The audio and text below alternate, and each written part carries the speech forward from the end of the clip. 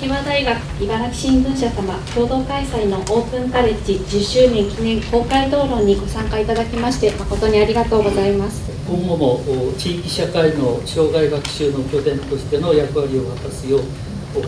さらなる講座の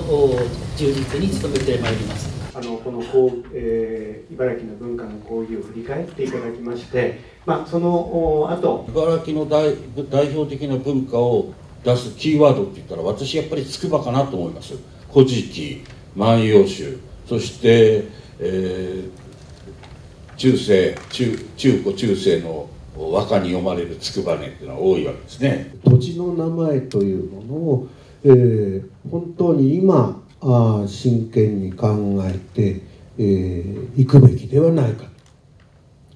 つまりその土地の名前をどう考えるかということでありますが、まあ、これをその文化と結びつけて考えるという。私が考えるのはその、えー、いわゆる庶民の文化っていうのが水準が高いかどうかっていうのは別にして、えー、江戸時代の後期っていうのは庶民が主役になって、えー、いろいろこう華やか華やかというか、えー、それぞれが交流していた時代なんだろうなというふうに思うんですよね。茨城っていうのはある意味恵まれた土地柄ですよね、えー、自然風土に恵まれた土地柄、えー、豊かな産物もありますし自然災害も少ないと、まあ、そういうところでございます。そこに住んでおられる皆さんですから我々も含めて住んでいるわけですからあえて自分たちの住んでいるところの魅力をですね外部に発信するということについては必要を感じない、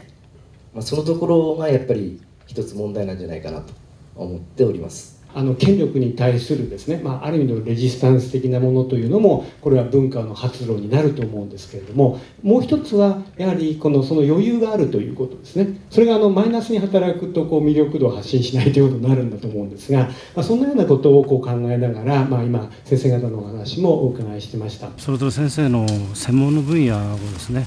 えー、まあ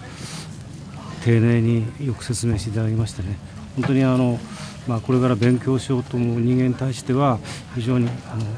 の大きな一歩になったというふうに思っております集まってる人たちの熱意がすごくみんなピンピンとこう跳ね返って非常にあの面白かったですね。今回初めてあの参加したんですが、えーと、本当に熱心なあの方がいらっしゃいいらっしゃいまして、まあ、それに続きたいなと 茨城県民として思いました。そのように考えていくその歴史の学習の仕方をしてはどうだろうか。だからまあ地域を知りましょう。